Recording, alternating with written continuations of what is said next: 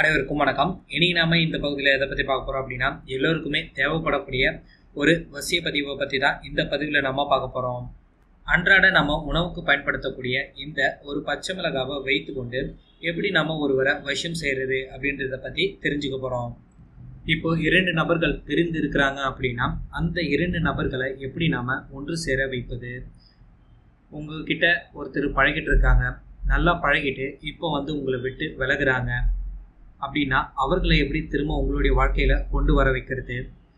உங்களை ஒருத்தர் நம்ப வச்சு ஏமாத்திட்டு உங்களுடைய வாழ்க்கையை விட்டு போயிட்டாங்க அப்படின்னா அவர்களை எப்படி திரும்பவும் உங்களுடைய வாழ்க்கைக்கு வர வைப்பது? உங்களுடைய கணவனோ அல்லது மனைவியோ உங்களை விட்டு பிரிந்து வேறு ஒருத்தர் கூட இருக்கிறாங்க அப்படின்னாலும் அவர்களை எப்படி உங்களுடைய வாழ்க்கைக்குள்ளே திரும்ப வர வைப்பது? அப்படின்றத பற்றி தான் இந்த பதிவில் நம்ம பார்க்க போகிறோம் இப்போ இந்த வசியத்தை எப்படி செய்யணும் அப்படின்றத நம்ம டைரெக்டாக நம்ம பார்க்குறோம். இரண்டு பச்சை மிளகாய் நமக்கு தேவைப்படுது.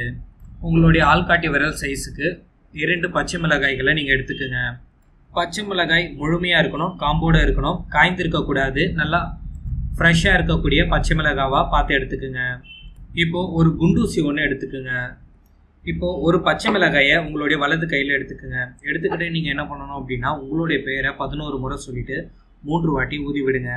அதே மாதிரி இன்னொரு பச்சை மிளகாயை எடுத்துக்கோங்க. அந்த பச்சை மிளகாயில் நீங்கள் என்ன பண்ணணும் அப்படின்னா நீங்கள் விரும்பிய நபருடைய பேரை மூணு வாட்டி சொல்லிவிட்டு அவங்களுடைய அந்த பச்சை மிளகாயில் மூன்று முறை ஊதி விடுங்க. இப்போது ஒரு குண்டூசி ஒன்று எடுத்துக்கோங்க. இப்போ இந்த குண்டூசியில் நான் சொல்லக்கூடிய மந்திரத்தை இருபத்தி ஒரு முறை சொல்லிட்டு மூன்று முறை அந்த ஊசியில் ஊதி விட்டுட்டு இரண்டு மிளகாய்களையும் ஒன்று சேர்த்து அந்த இரண்டு மிளகாயோட நடு மையத்துல குத்தி ரெண்டுமே ஜாயின் ஆகிற மாதிரி நீங்க பாத்துக்கணும் இப்போ அந்த குண்டூசியோட தலைப்பகுதியில நீங்க என்ன பண்ணணும் அப்படின்னா ஏதாவது ஒரு நூலை கட்டி நல்லா ஒரு பத்து முறை நல்லா சுருட்டி அதை நீங்கள் கட்டி இது என்ன பண்ணணும் அப்படின்னா உங்கள் வீட்டுக்கு பக்கத்தில் இருக்கக்கூடிய வெள்ளெருக்கன் செடியில் ஒரு கிளையில கட்டி தொங்க விட்டுட்டு வந்துடணும்.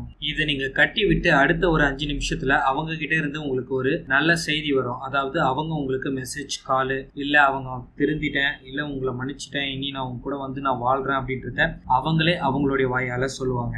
இப்போ நாம இதற்கு சொல்ல வேண்டிய மந்திரம் என்ன அப்படின்னா யா ஹமீது யா ஹமீது அப்படின்ற இந்த மந்திரத்தை நீங்க இருபத்தி ஒரு முறை சொல்லிட்டு அதுக்கப்புறமா அந்த குண்டூசியால இரண்டு பச்சை மிளகாயிலும் நடுமையத்துல நீங்க குத்தணும். இந்த தகவல் உங்களுக்கு பிடிச்சது அப்படின்னா லைக் பண்ணுங்க ஷேர் பண்ணுங்க. மேலும் இந்த தகவல் அதை டவுட் இந்த கீழே இருக்கிற கமெண்ட் செக்ஷன்ல கமெண்ட் பண்ணுங்க. மேலும் இது போன்ற வீடியோக்கள் நம்மளுடைய சேனல்ல வர இருக்குது. அதனால இன்னும் நம்மளுடைய சேனலை சப்ஸ்கிரைப் பண்ணாதவங்க மறக்காம சப்ஸ்கிரைப் பண்ணிக்கோங்க.